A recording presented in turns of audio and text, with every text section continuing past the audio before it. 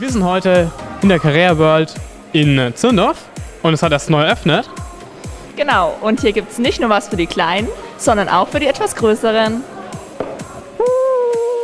Mein Name ist Xavier Tann. Ich arbeite schon seit knapp 14 Jahren für Carrera und ähm, bin quasi der Streckensprecher und Rennleiter, wenn es darum geht, die Fahrzeuge und die Fahrer an der Strecke zu betreuen. Welche Möglichkeiten hat denn Carrera World jetzt zu bieten? Von den ganz, ganz kleinen Kids, sprich die dann in der Kids World Carrera Bahn fahren können, Bobbycars fahren können, ferngesteuerte RC-Fahrzeuge fahren können oder einen Helikopter fliegen können, bis hin zu den erwachsenen Kindern, die können zum Beispiel an unserer 70 Meter großen Event- oder Wettbewerbsbahn sich mit und gegeneinander messen mit der ganzen Familie. Was ist jetzt dein persönliches Highlight hier in Carrera World?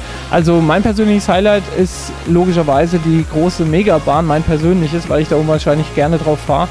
Ähm, nicht nur die Tatsache, dass sie 70 Meter lang ist, sondern sie hat 35 Überholmöglichkeiten. Das heißt, ich kann an 35 verschiedenen Stellen die Spur wechseln und das macht sie halt super spannend. Daher ganz klar mein Highlight, die, die, die Megabahn. Also man muss auch ein bisschen mit Taktik so ein bisschen fahren. Ja, an der Megabahn auf jeden Fall. So, wir haben jetzt unsere Autos startklar. Ich im weißen Porsche 918 Spider.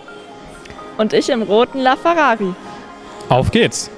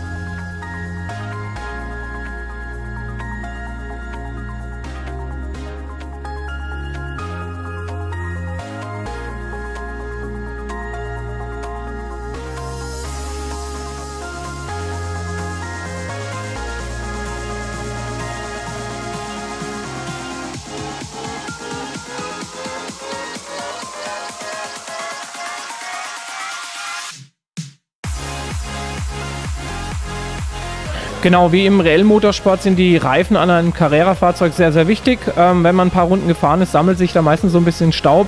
Jeder Mensch hat eine 10-Finger-Boxengasse.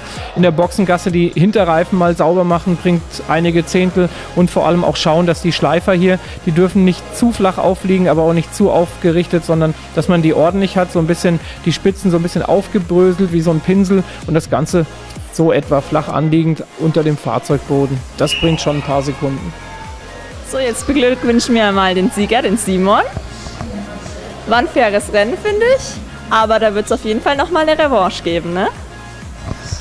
Ja, darauf freue ich mich schon. Und vielleicht läuft es dann noch knapper nächstes Mal. Uns hat es auf jeden Fall Spaß gemacht.